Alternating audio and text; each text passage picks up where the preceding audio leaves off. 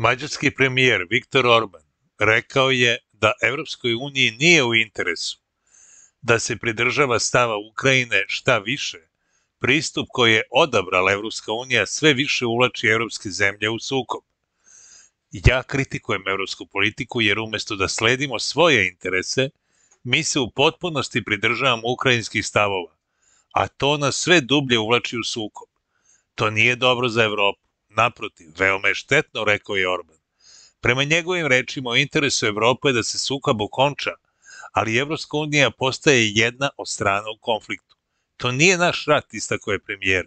Orban je takođe odbacio tvrdnje o tome da Rusija predstavlja pretnju po bezbednost Evrope. Naša bezbednost nije ugrožena. Ako je Evropa odlučila da postane strana u tom sukobu, onda se Mađarska ne pridržava tog stava, naglasio je premijer. Pritisnite subscribe ili prati. Hvala.